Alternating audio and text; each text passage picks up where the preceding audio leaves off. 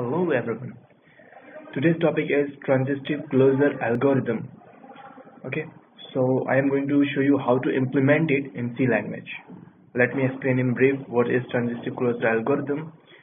Uh, well, it is used to find the reachability problem solution.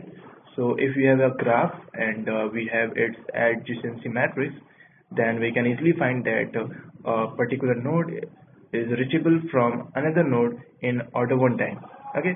Let's start. First uh, include its header files as is usual. Now what we need to do is we are going to define using define preprocessor which is used to define some syntax like uh, I'm going to send max as 5 so if you have uh, uh this max shows that how many nodes are there okay now let me create a function prototype. So with transitive closure and uh, the adjacency matrix you as you know is a two-dimensional matrix. So we are going to use here the two-dimensional matrix and passing here the maximum number of columns. And uh, again I am again using you will shortly know why I am using two two-dimensional mat matrices. Also max and now another variable. Okay. It's the function prototype. Now let me define the function. Right. Let me copy this.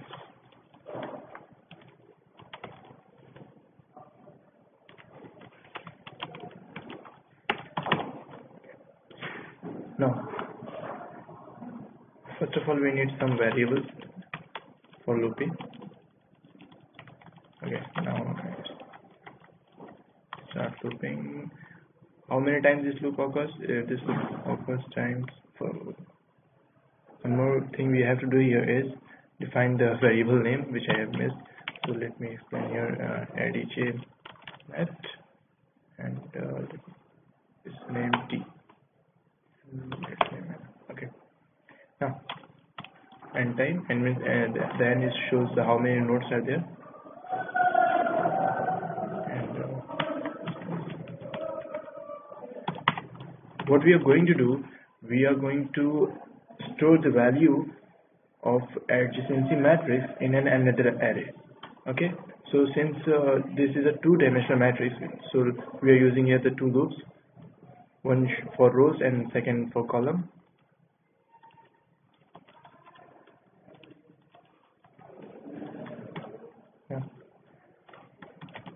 if ADJ matrix i through jth column is equals equals 1 as you know if there is a path between two nodes then in adjacency matrix there is 1 and if there is no path between two two nodes then the matrix contains 0 so if there is 1 means if there is path between two nodes then what we are going to do is we store the value of uh, that adjacency matrix in another two-dimensional matrix name we, we name T. That one. We store one in that matrix. And if that is not the case then we store zero.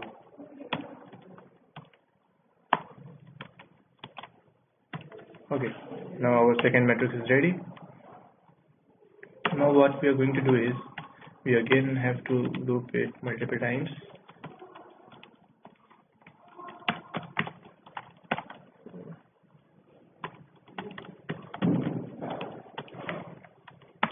again another loop shortly know why I'm going to, why I'm using here multiple loops.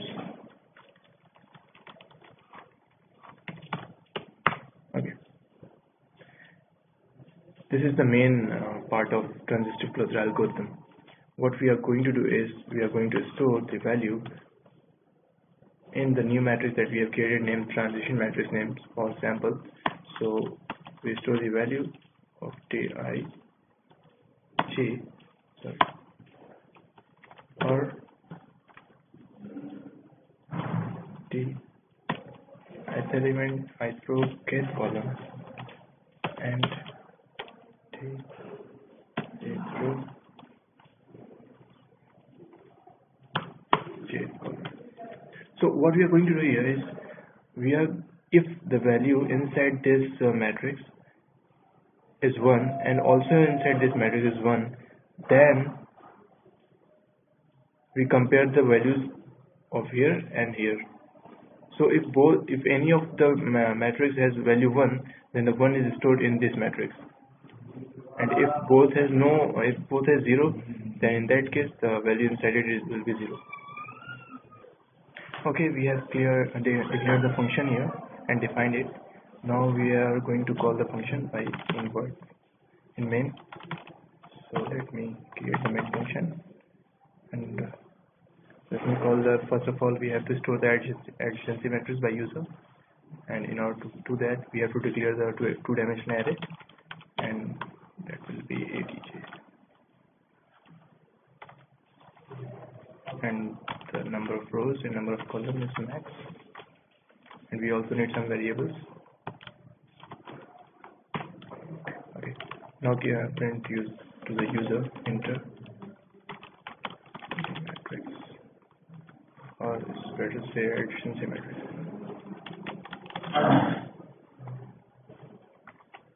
now in order to store the uh, values in matrices in order we have to loop it two times. So let me start it by for loop. Uh, next times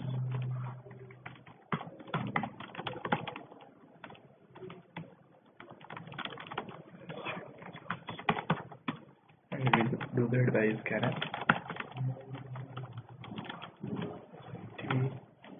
and we store the value inside adj material and uh, i through in jth column? Okay. Now we have to call the transition transitive closure function and pass it the adjacency matrix. One more thing we need is uh, another matrix of two dimension so we have to declare that and provide its maximum capacity. Sorry. now we have to pass that matrix here. Named as T. Let me change the name. Okay. And we also have to pass here the maximum number of nodes now what we have to do is to print the values inside the TR matrix. Now in order to print a two-dimensional matrix we also have to again loop it two times. Do this again.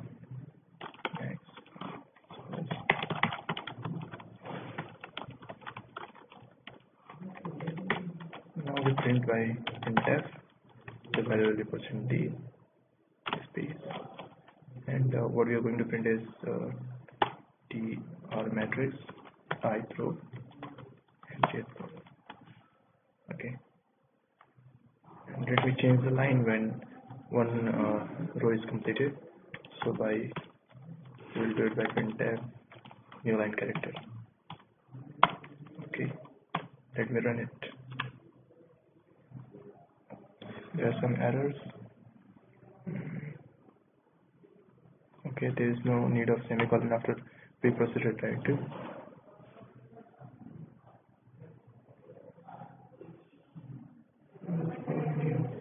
Okay, now we have to do one thing. Uh, we can't use preprocessor directive in our uh, main function as declared in function prototype. Let me change it as global variable instead of preprocessor directive so max. is equals to 5 now we try to run it.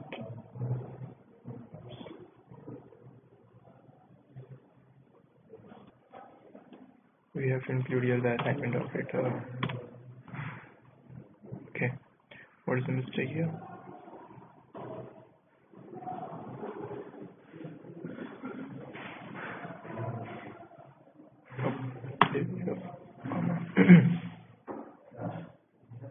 it's okay okay now I have to let me show you which matrix I'm going to show you. Okay. I have made some changes in my code. So in order to view it properly so here is the printf statement and some other printf statement here. Okay. The main logic is same. I include it for only uh, understanding purpose. Let me execute this. Okay and the graph which I am going to use as demonstration purpose is this. Now first of all I have to write its adjacency matrix of this graph. So in order to do that the, the adjacency matrix of this graph is this 0 0 0 0 0 0 0 1 1 0 0 0 0 and 1 you can easily find it. And uh, if you, you have any problem in finding the adjacency matrix uh, from a graph then you can google it. Next one is 1 1 0 0 and 1 and 0 1 1 and 0 okay. Now let's see here. What this graph shows what this uh, result the transitive closure graph is showing. First of all it's showing that can we uh, are can we reach to another node from this one is or not? First of all let me see if I want to move from 1 to 5 so it is showing 1 first row and fifth column. What is represents 1 1 represents means we uh, we are able to reach at 5 from first node. How? Let's see here. 1 to 4 4 to 5 it is true. Okay check here another uh, node for example we want to reach from 3 to 4 okay? So let us see here 3 this is third node and 3 to 5 5 to 4 so this graph gives us the reachability problem solving strategy through which we can solve our problem. If there is uh, any problem which says you have to find some uh, path is that is reachable from a particular node or not then we uh, then we are going to use it there the transitive closure algorithm. Okay? This is the whole process. Thank you